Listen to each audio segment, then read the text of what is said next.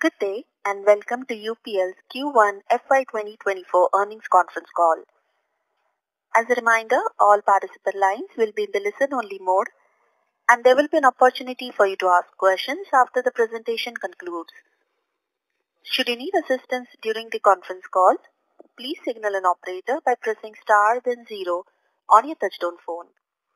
Please note that this conference is being recorded. I now hand the conference over to Ms. Radhika Arora. Thank you, and over to you. Thank Thanks, Yashasvi. Good day, everyone. Thanks for joining us today for the results for the quarter ended 30th June 2023. The presentation, press release, and the financial statement has been made available on the website, and we take as having read the safe harbor statement. From the management team, we have with us today Vice Chairman Rajendra Darak, CEO of Global Crop Protection Business Mike Frank, CFO Anand Vora, Chief Supply Chain Officer Raj Tiwari, and other members of the leadership team. With that, let me now hand it over to Anand. Anand? Uh, thanks. Thanks. Thank you, Radhika. A warm welcome to all of you who have joined us today. I'll begin by discussing the key financial highlights for the first quarter, followed by an update on working capital and debt.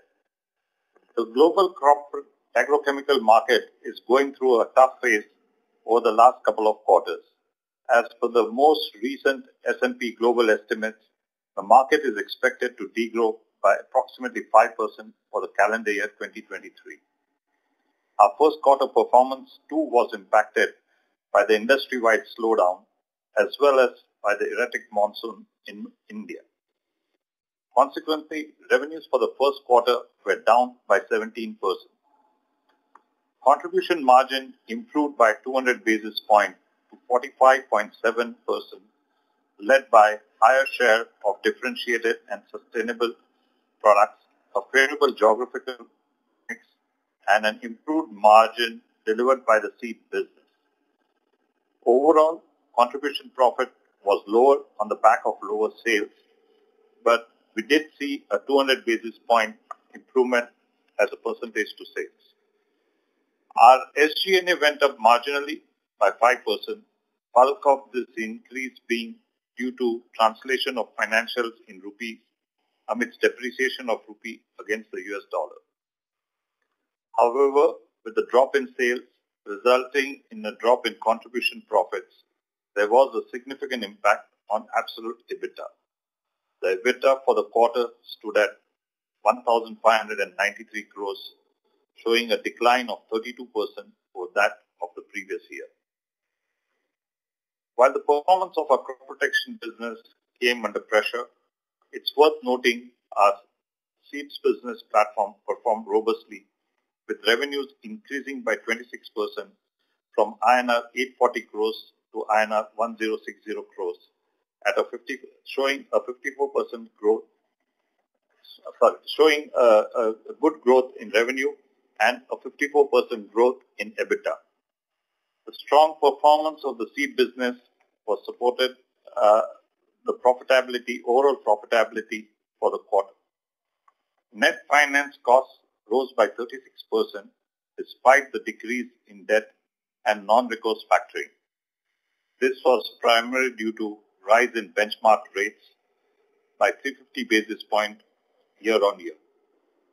The average cost of borrowing for Q1 FY24 stood at approximately 6% per annum, as compared to 3.5% per annum for Q1 in FY23. FX loss for the quarter was 200 crores. This was mainly due to cost of hedging contracts against advance orders taken in Brazil. Additionally, there are certain countries where we could not hedge currencies, such as Russia and Turkey. Devaluation in currencies of these countries also led to higher FX impact. Net profit for the quarter came in at rupees 166 crores, as the impact of higher finance costs and FX loss was to the extent offset by lower taxes, as we benefited from the lower tax rates due to poor business performance in some of these countries mentioned above. The tax rate for the year is expected to be at the lower end of the guidance, of 15 to 18 percent given at the beginning of the financial year. As we highlighted at the Capital Market Day in May, improving our cash flows and strengthening our balance sheet continues to remain one of our key focus areas. In line with this, we reduced our net debt in US dollars by 160 million from $3.35 billion in June last year to 3.19 billion as of 30th of June 2023. Additionally, we also reduced the non-recourse factoring significantly by US dollar 250 million on a year-on-year basis. The receivables uh, securitized stood at 890 million as of 30th June 2023 against 1.14 billion as of 30th June 2022. Coming now to working capital. The working capital days increased by 14 days year-on-year to 122 days. This was primarily on account of lower payables and a reduction in factoring, as I spoke earlier. In rupee terms, the factoring was down by 1,700 crores versus last year. Overall, we expect to end the year with working capital of 65 to 70 days. To give you an update on the corporate realignment initiative, during the quarter, we transferred our specialty chemicals business to a wholly owned subsidiary, UPL Specialty Chemicals Limited. This proposal, this proposed transfer has been approved at the shareholders meeting in July, and the transaction is expected to be completed in next few months. The carve-out of specialty chemicals business will allow us to accelerate growth in, in that business and enable improved access to capital. Moving ahead, as we look for the rest of the year, while Q2 will also be, we see subdued demand. In the second half of the year, the demand on the crop protection side is expected to recover as channel inventory approaches a near normalized level. Further, protecting our profitability in the current environment is of foremost priority. Accordingly, we have undertaken a cost reduction initiative of US dollar 100 million over the period of next 24 months, of which we expect to realize at least 50% by the end of this financial year.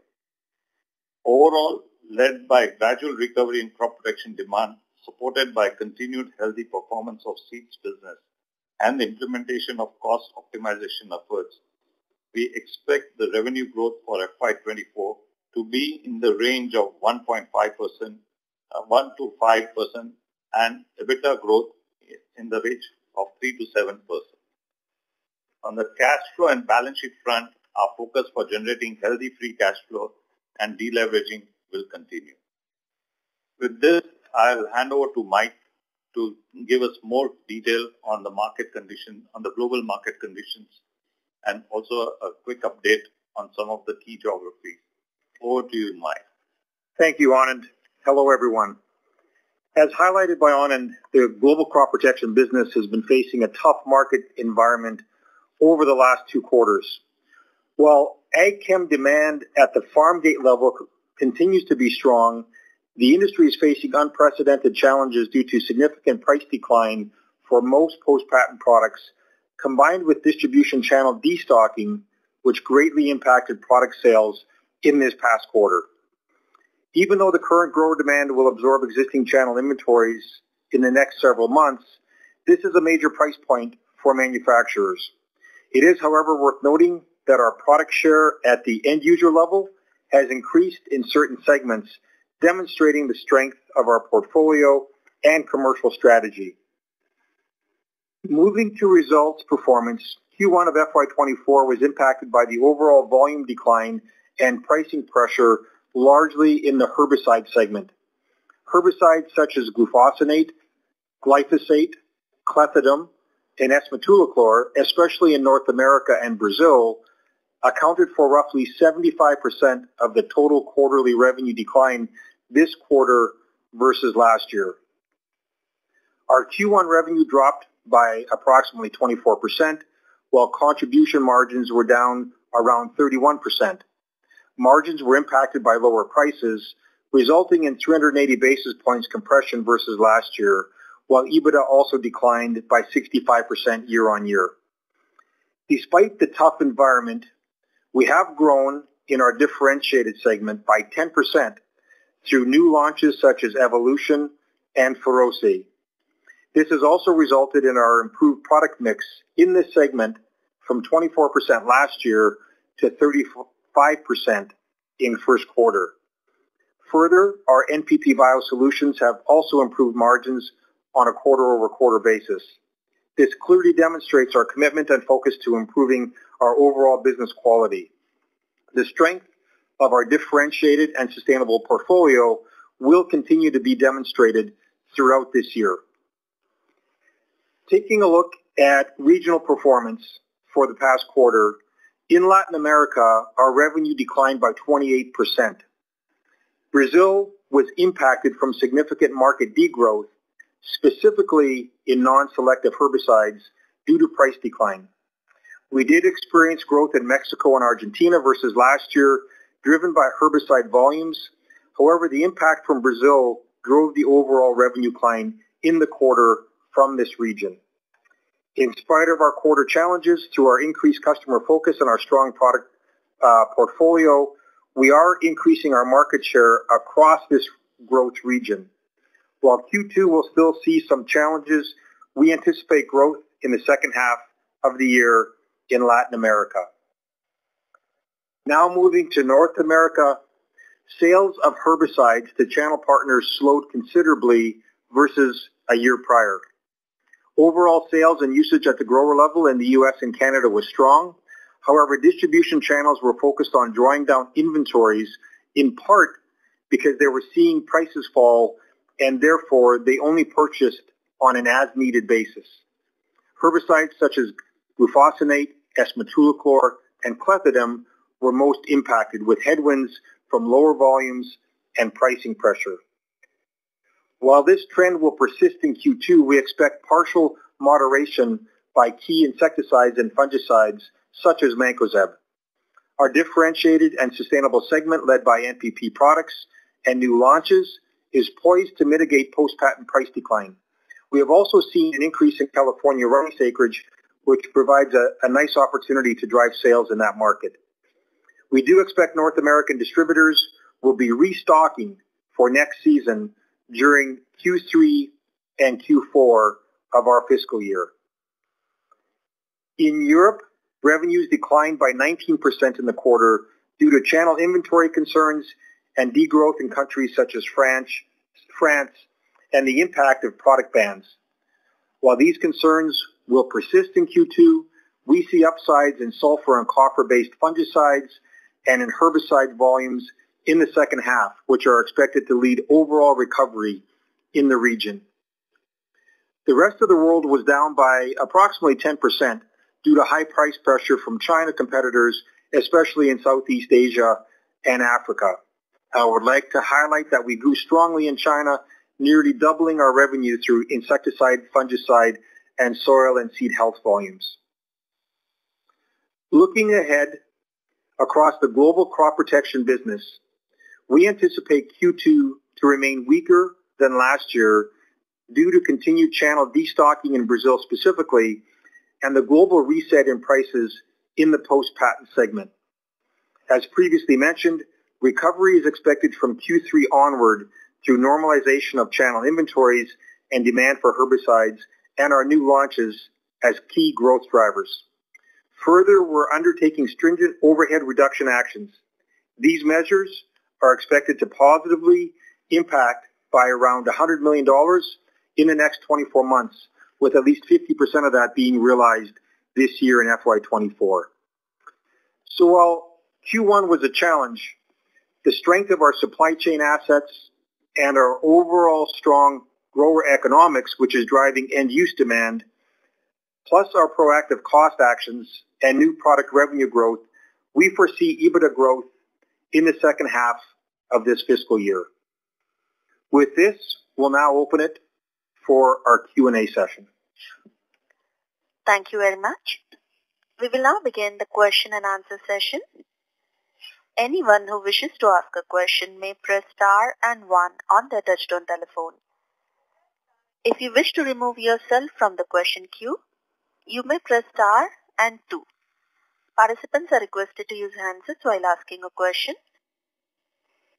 Ladies and gentlemen, we will wait for a moment while the question queue assembles.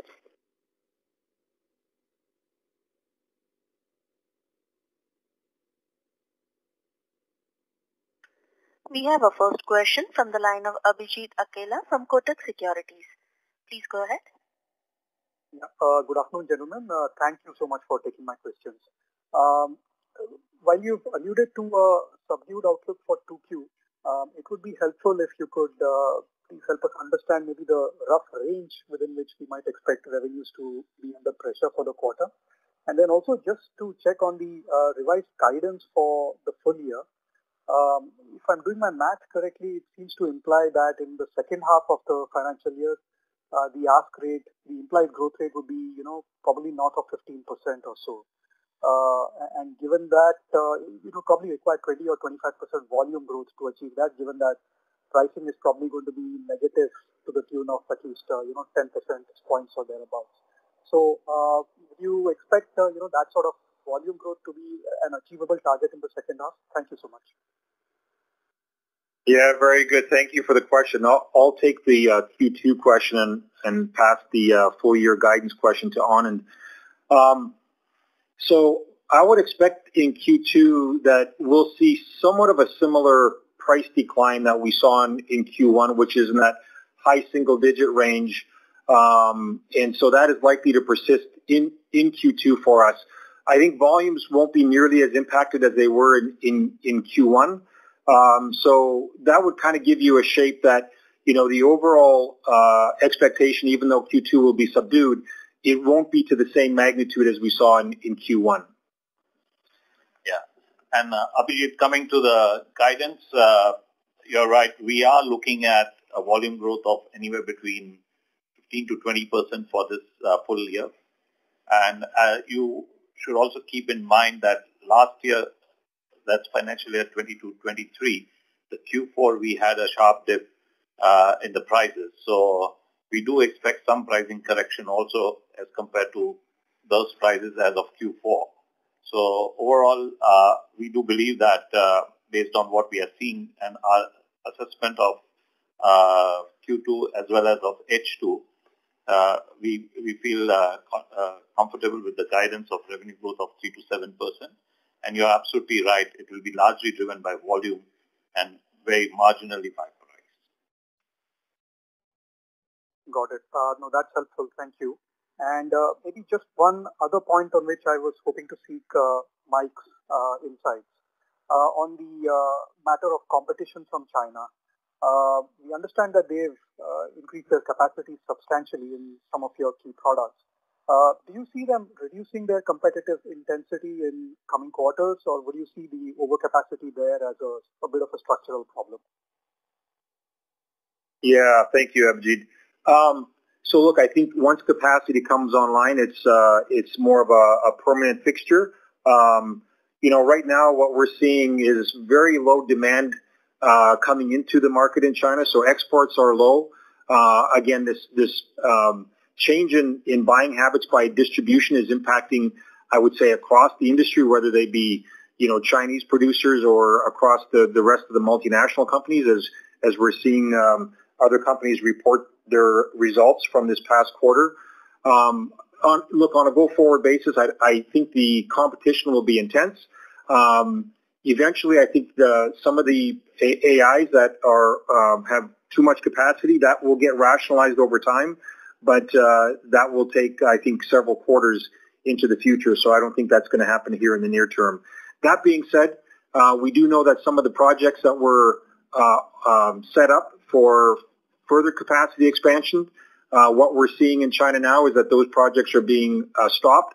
Um, so I, I, would expect that there'll be very uh, few projects in the future which are adding capacity, but but we do have some some AIs where capacity is is very high at this point. Thank you. That's very helpful. And just one last quick thing for me, uh, for Anand. Uh, any guidance on the debt reduction and the factoring uh, levels for the full year, Anand? Thanks a lot. No, factoring, I think we'll try to keep it between 1.4 billion to 1.6 billion. Um, and uh, debt reduction, you, you've seen Q1, while I know we, we didn't give any guidance, but we did reduce our debt by about 160 uh, uh, in Q1, and we will continue our effort to reduce debt as we move forward in this quarter, uh, over this financial year. Thank you very much and wish you all the best. Thank you. Thank you. We have a next question from the line of Madhav Marda from Fidelity International. Please go ahead. Yeah, hi, good evening. Uh, thank you so much for your time. I have two questions. Uh, first one was, given that, you know, there has been some restocking which has been happening in the channel uh, across some of the key markets, do you think channel inventory is running lower than uh, usual levels? Like, uh, if, if it was like X at a, or a usual time, are we running lower than those levels right now? Yeah, so um, look, the, the reality is it's really a country by country, market by market um, situation. I was in the U.S. just a couple weeks ago, uh, visiting with key distributors across the U.S. and I would say largely the inventory levels are are at what I would call you know normal uh, levels for most companies. There was a few distributors I talked to that still had higher than desired inventories. Now, if you go to Brazil right now, of course, they're in the in the process of gearing up for the upcoming soybean season, and so, you know, I think it depends whether you're, you're looking at northern or southern hemisphere. Inventories at the distribution level, I would say, haven't completely normalized. I would expect that to take place over this upcoming quarter for the most part, um, but uh, we're we're approaching those levels.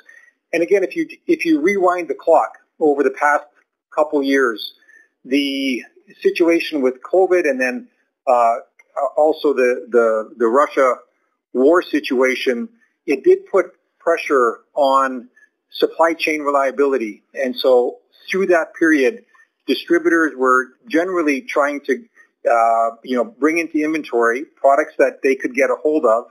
And overall, that's why inventories were built up uh, really on a global basis. And so now we're seeing the other side of that situation where there's no longer concern about supply chain reliability, and therefore naturally distributors are trying to get back to more normalized levels. So it's getting close. I think we have another quarter or so of uh, of normalizing this, and then and then from that point we'll be restocking as per normal.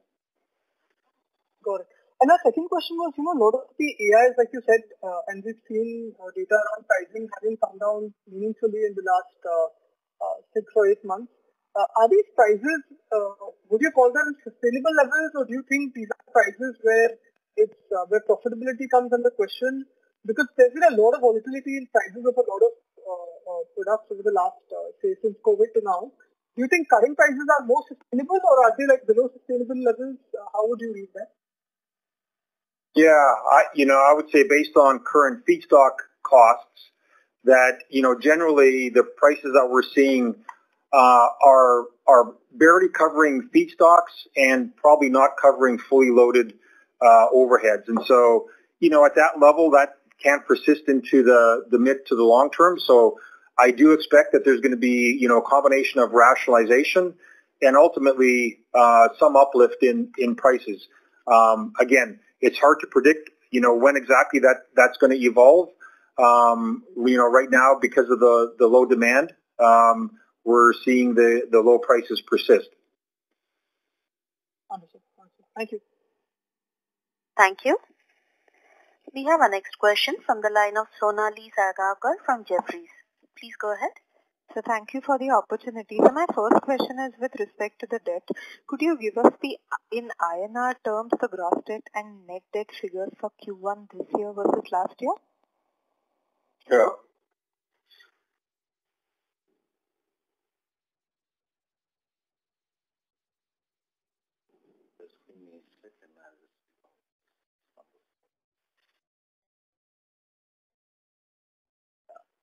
Anand, I have that. If you want, I can say that. Yeah, just uh, go ahead with the yeah, INR yeah. numbers. Please. Yeah, Sonali, it's it's essentially on the slide 11. If you look at the quarter one presentation that's there on the website, uh, the numbers are 30,083 crores in June 23 and similar number June 22 was 30,123 in INR crore. However, if you oh. see in uh, you know dollars, it was 3.66 billion versus 3.8, so down by about 147 million dollars.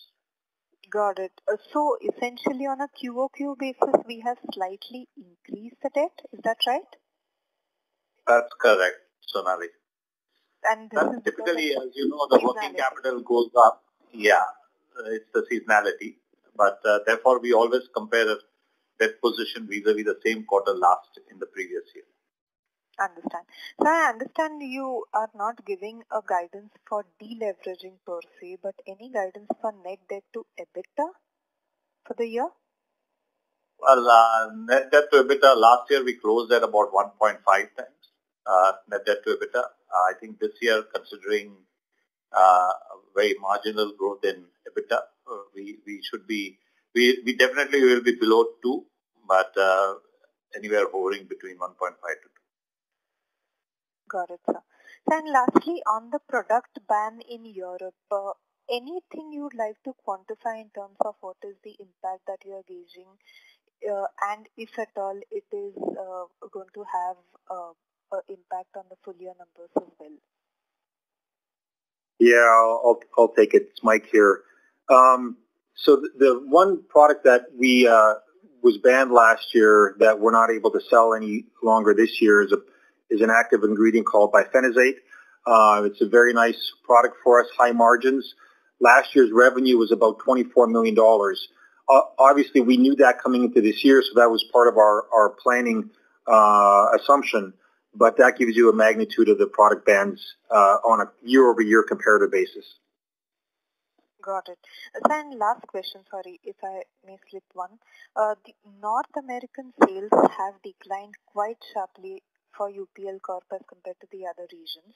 We understand it's related to channel uh, inventory issues, but any further clarity you'd like to give on this? Yeah, as I said, I, I was in the U.S. just a couple weeks ago. Um, I think our portfolio is performing very strong.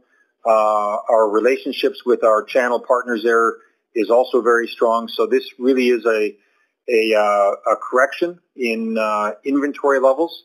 Um, as they, you know, get, as you may know in North America, it's really just one season. And so they, uh, they typically load up in, in our third and fourth quarter and then they de- de- delete their inventories, you know, in, in uh, Q1, Q2, Q3. And so um, their sales to growers is strong. Our products are performing very well in the U.S. And again, I think once we get to Q3 and Q4 stock, uh, stocking in the U.S., we'll see our, our business pick, pick back up. Got it. That's very helpful. Thank you and all the best. Thank, Thank you. you. Thank you.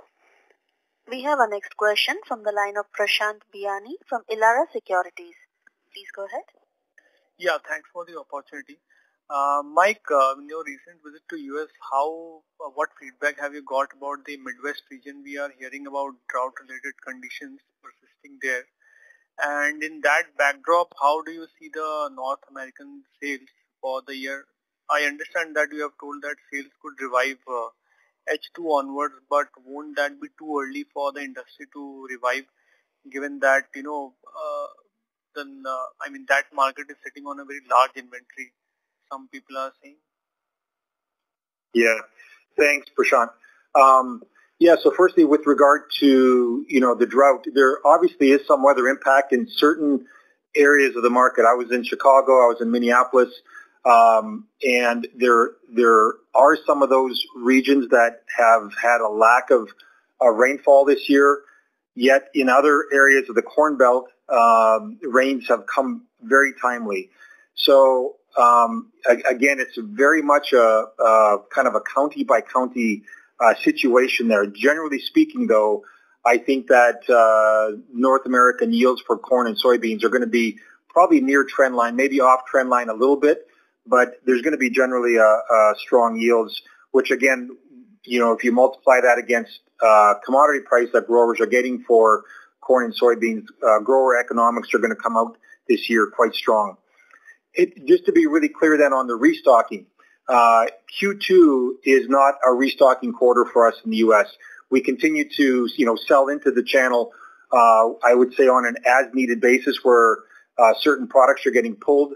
Uh, right now, mo- mostly insecticides and fungicides, more so than herbicides, where we're replenishing, uh, you know, certain distributors.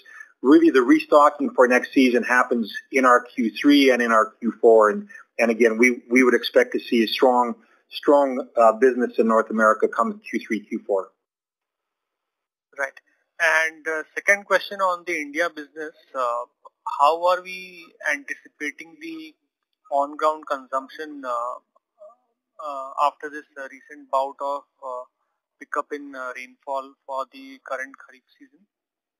Yeah, Ashish, you, yeah, go ahead. Yes, yes. Thanks for the question. I think uh, after the June, you know, lack of rainfall we had, I think it's good that things have moved in India and we are seeing good rains now. The only thing is that it's too much rains now in a lot of areas like Punjab, Haryana and Gujarat where there's a, there's a lot of flooding.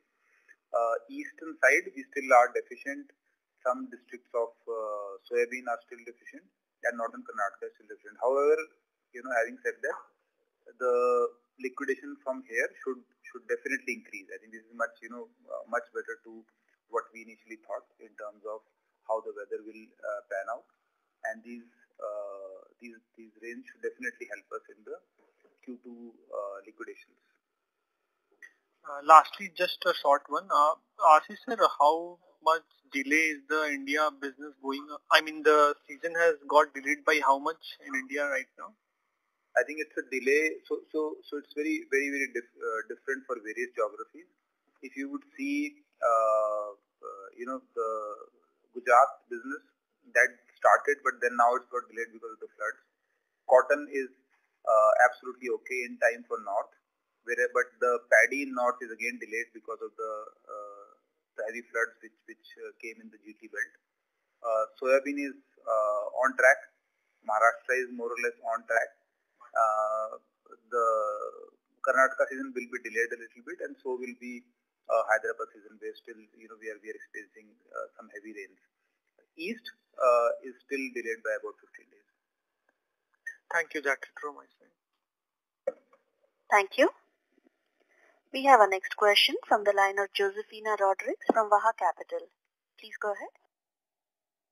Uh, hi, thanks for the call. Uh, two questions from my side. So I see gross debt, you're reporting now $3.667 uh, million dollars. In the last quarter, uh, if I look at F123, it was 2.7. So I wonder if you're like now counting some maybe factoring or what was the driver of that increase in debt?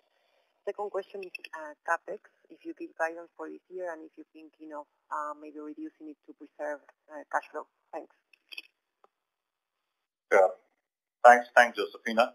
Uh, uh, as you know, due to the seasonality of our business, we do see an increase in working capital as we move into the uh, into the financial year.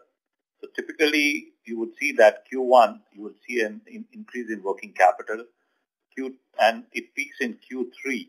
So December uh, quarter and December, you the working capital is at its highest level, and then we see a drop in working capital in Q4. Uh, so in in continuation of the increase in working capital, you will see that the borrowings also keep going up. And therefore, we always compare uh, at the end of the quarter with that of the quarter of the previous year rather than quarter-on-quarter comparison. So as a result, we when you see, if you see our presentation slides, you will see that we compare the working, uh, the borrowings and the working capital vis-a-vis the same quarter of the previous financial year. And therefore, this increase, uh, there is almost seven to 800 crores of increase in working capital uh, as we move into the season. And correspondingly, the debt has gone up. So that's the reason. It's nothing to do with uh, our non-recourse factoring, uh, which, uh, uh, you know, doesn't, doesn't impact our borrowing. Moving to the second question on the capex. Uh, certainly, I mean, we had guided for about 325 to 350 million. we, we, we now feel that we should be in the range of around 300 million. Uh, we are clearly looking at uh, uh, our capex uh, for this year, and uh, wherever we, uh, if we can, in order to conserve cash, if, if we need to uh, postpone some of the capex or something. We we are we are reviewing currently. We haven't taken a decision, but we are reviewing closely and closely monitoring our capex spend for this year. Okay, thanks. Thank you. We have our next question from the line of Abhiram Iyer from Deutsche Bank. Please go ahead. Hi, uh, thank you for taking my question. Uh, so I understand you're comparing the gross debt on a year-on-year basis, which is fine. But previous year also had the impact of a reduction in debt due to the equity infusion by the minority shareholders in, during the restructuring of the company. Um, so that impact seems to have sort of gone. Is the entire increase to from 2.8 to 3.6 billion driven by working capital? And the other question is, uh, cash as well has sort of come down from uh, March to now. So again, uh, could you just quantify a bit, help us a bit on, on the walk in net debt basically uh, on a quarter-on-quarter basis? Is the entire thing working capital and is it expected to reverse in Q4?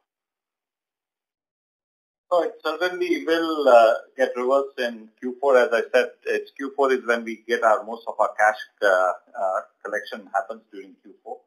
Uh, well, uh, as I mentioned earlier, about 700 crores is spent on uh, working capital. There has been certain capex spend and other working capital related, I mean, loans and I would say rather the tax and other payments which have been there. As you would have seen, the Q1 has also not been uh, uh, very, very profitable in terms of uh, profit generation was lower by 32% EBITDA and the interest and finance cost has resulted in a dip in the PBT. So overall, uh, the, the working capital has gone up uh, during uh, during this quarter. But as I mentioned earlier, we, we do see, in fact, in next two quarters also you will see a slight improvement, increase in working capital and in Q4 you will see the working capital coming down. So that's that's been the trend over the last. If you look at last five years, that's been the trend, and we do expect uh, working capital. I mean, the debt levels to be. Uh, as I said, in Q1 we have reduced by about 160 million in US dollar terms, as well as we have reduced the factoring by about 250 million. Uh, we do expect to continue with this trend as we move into uh, the next two three quarters clearly looking at the state of business and the market largely, as, as, as Mike alluded, uh, looking at the conditions of market, we will take all measures to manage, uh, improve our cash and uh, maintain our cash flows uh, well and see how we can bring down the debt further. Got it, got it. And in a sort of similar vein, um, the company's bonds is still sort of on negative outlook by Fitch, uh, one of the two uh, agencies which rated investment grade. Um, may, maybe just get a bit glimpse on, on what the conversations have been and, and how do you see sort of, uh, you know, evolution and basically time given by the rating agency to sort of uh, get back to you know, a, a, full sustainable sort of business? I mean, current, obviously the current, there is an impact from market effects. Yeah, so we have engaged with the rating agencies and we have very good discussions with the rating agencies. Uh, I think uh, they, the good part is uh, they have been rating various other crop protection chemical companies and they do know the market conditions. I think in Q4 uh, we uh, they maintained the rating. I, I, mean they they were a bit surprised with the performance, uh, but as they later as you know, more and more information started making available and on China as well as some of the other companies came out with their results. Uh, we do believe that uh, they do understand the market conditions and considering that all, uh, if you look at the peer group, we, we, we have, uh, while we have all lost on revenues as well as on EBITDA, there has been lower revenue in EBITDA, but the drop in our case has been much lower. Plus, quarter, the reduction in debt, uh, I think, I'm, I'm sure, I mean, we haven't spoken to them as we have just announced the results, but that should be a positive. And also, you know, most rating agencies take into consideration the non-recourse factoring and a reduction in non-recourse factoring also by 250 million is something which I'm sure they will look at it more positively. But we haven't engaged after the results uh, as of now. We, as you know, we just announced the results. So uh, those calls are scheduled over the next couple of weeks. Perfect. And just one last question. Uh, there is a cost reduction initiative that's been mentioned of 100 million over the next two years, and about 50% of them would be in the next uh, fiscal year. May I just understand that your revised EBITDA forecast include this cost reduction, or is this an upside that potentially might come about uh, if, if, if these are on track? Uh, we have penned in this cost reduction in our 3 to 7 percent uh, EBITDA increase over that of the previous year. Got it. Perfect. Thanks. Thanks a lot for answering. Thank you. We have our next question from the line of Darshit Shah from Nirvana Capital. Please go ahead. Yes, sir. Thanks for the opportunity. Uh, so if you look at uh, a question on the India business, uh, so the India business has done fairly uh, uh, okay as far as Q1 was concerned. Uh, while the rest of the regions, as you mentioned, are seeing a sort of uh, uh, channel destocking and prices fall. So can you highlight what the situation in India in terms of our product portfolio is concerned and overall general industry perspective on the Indian market? Is is India also witnessing the same kind of channel destocking and price realizations fall? Yeah. So I think uh, yeah, yeah. Hi, uh, Ashish here. Uh, thanks for the question. I think, yeah, I, so, I think India is a, uh, you know, a little bit slightly different, uh, in a slightly different position as compared to the global businesses, uh, where we had a very good fourth quarter.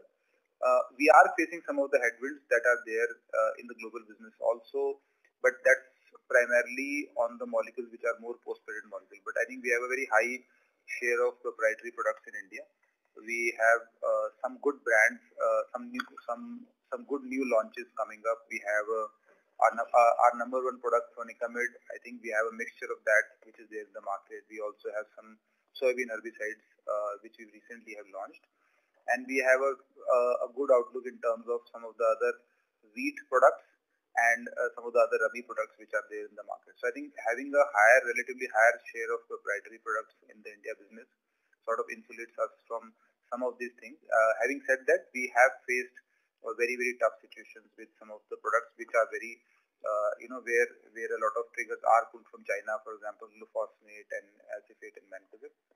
But overall, because of the proprietary products and some of the new launches that we've had in India, we uh, have a relative uh, position. But you know, once again, that's that's relative uh, because we do have to offset some of the negatives that are coming in the in the post-patent space. Uh, it is very similar with uh, some of the other uh, companies in India. So I think the companies having proprietary products have fared slightly better and the companies who are purely into post-patent chemistries have really struggled because of because this is one of the very few years where the prices uh, from from let's say February March to uh, to June have actually come down rather than increase for for post patent products. So I think which also has led to a lot of uh, you know, uh, online companies, uh, which which also has created a lot of issues in the market for for the proprietary, sorry, for the post-patent products. So I think that, that that's one thing. And of course, India is one of the geography in, in, in in the UPL ecosystem, which is very, very close to the farmer. You know, it's a pure uh, B2C play that we have in India. That also sort of gives us uh, some insulation in terms of, uh, you know, how we are facing the challenge in the market. So uh, roughly Q2 uh, for us should improve to, to, to some extent, and then I think it should get in better from uh, there on. I, I hope I have answered it. yeah, you have answered it really nicely. Thank you so much. Thank you. We have our next question from the line of Rohan Gupta from Nuvama. Please go ahead. Yeah, hi sir. Good evening and thanks for the opportunity. Uh, first question is uh, on our uh, the, the presentation you have cited that the farmer level consumption probably has just not been impacted and it's all about the inventory destocking which is impacting the growth. Just for me to understand that. Uh, I'm sorry, sir. Your voice is breaking. So anyway, we understood the question. Uh, you're you're talking about farmer level consumption and the destocking, right, uh, Rohan? Think we have lost him. I think his network connection is poor, sir. Uh, Mr. Gupta? Yeah, I'm yeah. Can you repeat your question? Because I'm sorry, we lost his connection now. We'll move on to the next question from the line of Matthias Vamali from Blue Bay Asset Management. Please go ahead. Hi, thank you. I think I'm taking us maybe back to the beginning of the call, but I'm, I'm really sorry. We can repeat a little bit uh, and explain and help us understand the, the weakness in Brazil, and then obviously a little bit of how you're seeing that going forward, given that it's obviously the biggest market in LATAM and it has a, a meaningful impact. Thank you. Yeah, thanks for the question. So, yeah, the Brazil impact on this quarter is really uh, related to the herbicide segment, uh, most specifically.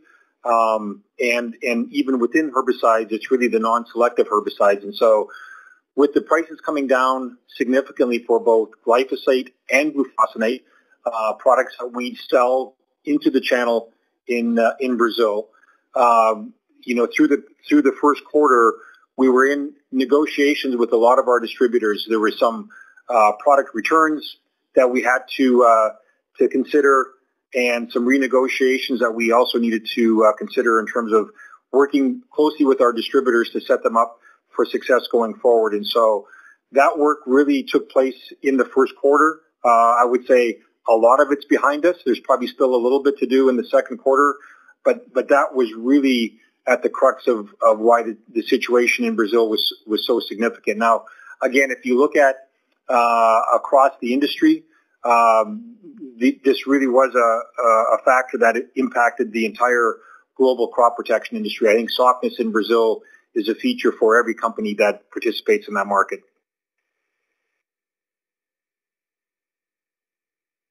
Mr. Matthias? Thank you. Yes, Thank you. Yes, thank you very much. We have our next question from the line of Nitin Agarwal from DAM Capital. Please go ahead. Hi. Thanks for taking my question. Two things. One is A, first on, uh, you know, this Chinese aggression which has come through on some of these non-selective herbicides. I mean, how does it really, uh, does it really make you uh, sort of relook at your strategy for the next three, five years? Yeah, Nitin. So, you know, part of that is, uh, goes back to how we're looking at overall our, our cost of doing business. And so, you know, we're, we really do think that on some of these uh, AIs, specifically in the um, uh, post-patent herbicide market, that these costs have reset. And therefore, we, we're also resetting our costs, both from a manufacturing standpoint, but also our, our cost to serve, our SG&A in those segments. And so when we talk about taking cost out of the business in the range of $100 million over the next two years, it's really setting up our, our post-patent business to be leaner uh, so that we can compete more aggressively. And so I would say that's that's primarily how we're adjusting for this new reality. And secondly, on, uh, secondly on the guidance, uh, you know, do we, uh, from a year-end debt, net debt perspective, uh, you know, do we have any uh, any color on we looking at reduction of debt versus the last year levels uh, on, a, on net debt levels, or, or where do we see the dollar debt uh, ending up? Uh, Nitin, as you see, uh, Q1 we have managed to bring it down by about 160 million. I think, as I mentioned earlier, our efforts will be to bring down our debt further.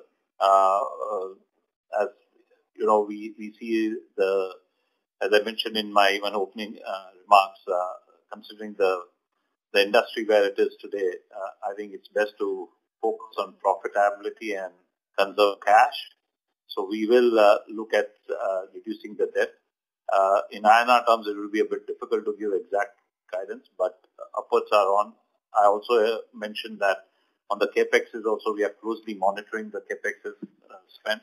So everything within our, uh, if I have to say what we control, we will try to see how we conserve cash and needless to mention, we'll keep reducing, bringing down the debt as we move forward during this financial year. And second, on the guidance for the that you've given out, uh, I mean, given where Q1 ended up, I think it's a pretty reasonably very positive guidance for, for the full year, to, in my view.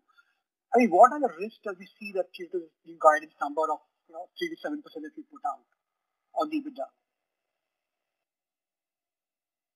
Well, I think uh, we the good part is we have been engaging with our teams across the world with various regions, and we are, we are getting their feedback.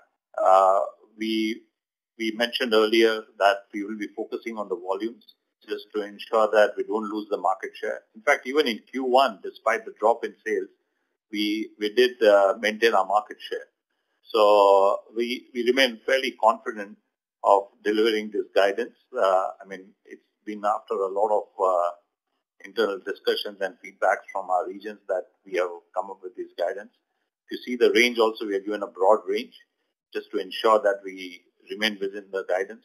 If not, I mean, exceeding is great, but uh, make sure that we don't fall below the guidance. So also the cost saving initiatives, the SG&A, which uh, Mike uh, explained, uh, you know, we, we, are, we have taken an aggressive cost reduction drive and uh, already we are we have started work on it. So we do believe that that should also give us some cushion to ensure that we deliver on our guidance on the EBITDA. Clearly, uh, it's, it's something, uh, especially when you look at Q1 numbers, it looks like a bit of a tall order, but we do believe that we should be in a position to deliver based on the revised guidance. Thanks, Arvind. That's very comforting. Let's squeeze in the last one. Hey, this is the first, I think, after two very, very high growth years, we'll have one sort of quote, quote unquote normalizing year for the business from a top line perspective. Uh, I mean, does it structurally ease out uh, working capital pressures for you? Uh, I mean, how do you look at that from that perspective? Yes and no. I mean, yes, because, uh, you know, the price, the, the benefit which you got over the last two years in the price increase obviously did have an impact on the working capital. As, a, as you saw the sales growing at much faster pace than what we had forecasted or what we had guided for. Uh, with the prices now normalizing, uh, we should see a, a, some reduction in working capital. But, uh, you know, the good part is we are seeing the destocking, and once the distributor starts destock, uh, are seeing the de uh, destocking happening at their level, uh, you know, which means they would have cash flows in and fresh orders also would be placed. So we do expect, you know, some reduction in working capital despite the growth in revenue, what we have projected for between 1 to 5 percent, uh, we do see uh, overall reduction in working capital as we move forward during for this financial year.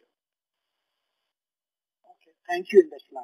So in, in number of days, it may still remain where it is, but overall, you could you you may see some improvements there. Thank you. Thank you. We have a next question from the line of S. Ramesh from Nirmal Bang Equities. Please go ahead. Good evening and thank you very much. Uh, so in the last quarter, you had mentioned that uh, there was a reduction in your capacity utilization in the manufacturing plant. So has the capacity utilization remained the same? And secondly, can you give us some uh, sense of the uh, loss you have taken on returns and inventory? Raj, do you want to take the uh, capacity question? If Raj Tiwari is on the line? Yeah, I can I can hear that. Yeah, I mean, uh, you know, except for uh, your uh, herbicide, the capacity utilization in most of the cases uh, have gone up as compared to last year. Uh, but on herbicides, uh, you know, of course, because of the market pressure, uh, some of the you know, you know herbicides are uh, facing volume uh, pressures, and therefore the capacity utilization has been a bit lower as compared to last year. Yeah, on, on the question on the question of returns, uh, I'll maybe just hit that. You know, so I would say generally, even though we did take some returns in Brazil, for the most part, the return levels are are quite low. Uh, instead of taking returns, we we did more renegotiation with channel, and so um, you know, I would say that it's not physically bringing back product into our warehouses. Uh, we worked with the channel and, and renegotiated some of the positions uh, and also then anticipated some future sales with them. And so that was more of a feature that, that impacted our financials in, in Q1. So if I may squeeze in one more thought, in terms of the cash flows, you have seen it uh, reduce uh, substantially to about 268 crores. So based on your guidance, so what is the kind of visibility on cash flows and how do you see that impacting your rating going forward by the end of the year? As I mentioned earlier, Ramesh, that uh, the rating agencies are have a good view on the overall industry, and they are also rating some of our peer group companies. So, uh, you know, it should not come as any surprise to them. Uh, I think the Q1 reduction which we have seen and which we have delivered, uh, both in terms of, uh, you see rating agencies also look at the non-recourse uh, securitization program. So the reduction in absolute debt by about 160 million, as well as in terms of uh, uh, non-recourse, that's off balance sheet reduction of 250 million, I think should augur very well with them.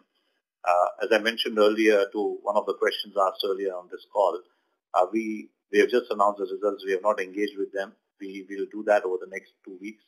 So we'll we'll hear from them. But I do believe, based on my earlier conversation, uh, overall reduction in debt as well as in terms of securitization reduction uh, should augur well or should be viewed positively. So can we take it that your cash generation will improve uh, by the end of the year? Well, as I mentioned, that's the effort, right? Considering the way the markets are, uh, we will focus on cash and profitability. Thank you very much and all the best. Thank you, Ramesh. Thank you. We have our next question from the line of Marvin from ABRDN. Please go ahead. Hi. Um, thanks, thanks for the time. I just want to dive in a little bit on UPL Corp. Um, just noticing that um, EBITDA has dropped about 65%, margins is also sub 10%. Um, just want to understand based on your projected guidance of 3 to 7%, how will UPL Corp EBITDA change over the next um, few quarters? Yeah, so I'll, I'll, give some shape and then pass it to Anand as well. Um, so Q1 traditionally is our smallest quarter, and we would expect that to be the same this year. Um, and so, of course, when we have the, um, you know, our, our SG&A is relatively smooth through the uh, four quarters, but our revenue and margins are, are lowest in Q1. And so, uh, you know, obviously when we saw the margin compression uh, and the reduction in sales, then, uh, you know, you get the corresponding significant impact in reduction in EBITDA. Uh, obviously, as we go through Q2, as I mentioned, we don't expect to see the same level of reduction. Q2 is also typically a little bit larger of a quarter for us, and then the second half of our year is typically 60% or more of our business. And so, um, you know, so we're not we're not providing specific guidance on UPL Corp. Um, we will be under uh, pressure, I think, over the course of this year to see uh, EBITDA growth, but um, our SG&A actions are going to help, and our focus on uh, gaining share and driving volumes through the second half of the year will also help us drive revenue. So Anand, I'm not sure if you have any other comments. No, absolutely. I think that pretty much well explains uh, uh, because always the H2 is uh, heavier. It's a 60-40 H1 H2 ratio, H2 H1 ratio. So we should see the improvement and uh, you know, as Mike uh, said, SG&A typically would be more or less stable uh, for the full year. And with the initiatives that we have taken to bring down our SG&A by 50 million in this financial year and over the next, uh, that's this year, next year by 100 million, that should also help to improve the EBITDA as we move forward. Okay, uh, thank you. And maybe just a another follow-up. And for the other entities like UPL, SAS, Advanta, and specialty chemicals business, those have, I suppose, been a little bit more defensive. Do you think um, it's going to remain the, the, the same uh, over the coming quarters as well? Well, you heard from uh, Ashish, our UPL SAS uh, business head or CEO. Maybe a few words from uh, our Seeds Business CEO, Mr. Bhupen Dubey. Uh, uh, maybe I'll hand it over to him. Bhupen, if you can uh, uh, just give a view on the quarter gone by and the full year performance, please. Uh, thank you, Anand. Uh, Advanta perspective, I think if you look at the number, the, the quarter one has been quite robust. it was significant growth in top line, EBITDA, bottom line, all the aspects. And good point is that the source of growth are very balanced. Uh, the volume uh, is significant contribution, which is about Uh, let's say the total growth is 26%, and the volume growth is 14%, price is about 9%, and price is about 3%. So very balanced and very robust, very healthy growth, and reflected in uh, subsequently in contribution profit uh, and EBITDA also, which is gone by 52%. Uh, some couple of comments on the crop uh, uh, the field corn, the tropical field corn, across key markets like Peru, Ecuador, Thailand, and India, they have performed very well. The flint corn in Indonesia, where we are moving from a B2B to B2C, a good demand is picking up in a new arrangement. And another important segment is uh, grain program in USA, uh, which uh, China, you know, trade delegation visited USA recently, and uh, they they are talking with the US uh, sorghum sorghum industry uh, to buy to the tune of uh, seven to eight million ton of grain sorghum for the pig industry and alcohol industry. So as a result of that, uh, the, the pickup for the sorghum also is quite good and reflected in the commodity prices there. So so these are the key highlights on the quarter one. Uh, quarter two, you know, quarter two, uh, also we believe that the, uh, so muted in the quarter one, but I think growth should be, uh, you know, you know, definitely double digit, 10 to 12 percent, is what looks like today. And, and, and uh, broadly, when we look at the outlook for entire year, also, I, I do believe that the, uh, the current operating environment for the industry is very positive. And for Advanta particularly, our product portfolio is very sustainable a product portfolio whereby we can withstand uh, you know deficit rainfall in many parts of the world, like sunflower, like sorghum, like canola, etc. And that is actually the scenario which is evolving is very favorable to us, and therefore uh, Advanta is poised to have a much better uh, performance than even the seed industry. So broadly, uh, net positive for seed industry and Advanta. Thank you, Bhupen. Thank you. We have our next question from the line of Somaya V from Spark Capital. Please go ahead. Thanks for the opportunity. Uh, so please use your handset. We are unable to hear you. Yeah. Am I audible now? Yeah, yeah. Go ahead, Vishnu. Uh, so this is Somaya. Uh, so quick question on the volume growth outlook that we have. Uh, quite a strong one for the second half. So if you can just help us in terms of uh, you know, regions or specifically LATAM and EMEA, what are we expecting in second half? And then, you know, what, what should drive us this kind of a volume growth in second half? Yeah. So it's Mike here. In in our global crop protection business, the volume growth is really going to come from really changing the timing of when distributors are are restocking. Um, again, over the past couple years, distributors were restocking throughout the year. Um, and I, I, think now that, uh, you know, the view is there's no longer risks on supply chain reliability, distributors want to stock much closer to the season. Of course, on top of that, you've got higher interest rates, and so they're trying to manage their working capital as well. So, um, so that that's why we expect to see, especially in the northern hemisphere, um, really good uh, restocking in our Q3, Q4 uh, business. Um, Asia, Africa, um, again, those businesses uh, take place throughout the year. There's several markets that we serve in, in, in that region. And then, you know, coming into the second half of the year, we'll be restocking for Safrinha corn in Brazil, along with uh, the various uh, markets in, in the in Central and uh, America and Mexico that we that we serve. So, you know, we have pretty good line of sight. Again, based on some of this being a shift in timing, where we can anticipate a, a strong volume uh, half in the second half of our year. Got it, helpful. Second thing, in terms of pricing, so in terms of the pricing curve, where do we think we are when, I mean, because we've had some five, six quarters of continuous double-digit pricing growth. Uh, so, so the pricing impact, are we close to the uh, bottom or is it still more uh, left in second half also compared to pre-COVID levels where we are today and how do you see things uh, going forward? Yeah, so the quarter-on-quarter pricing impact is going to continue to play out throughout this year. Um, as we reported in Q1, our price was down about 10% in our global crop protection business. I would anticipate that it'll be somewhat similar in, in uh, Q2 and Q3.